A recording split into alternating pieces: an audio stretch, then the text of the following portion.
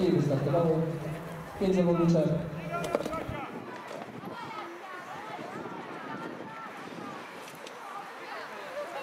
I tutaj zdecydowanie na torze piątym Liga Tył.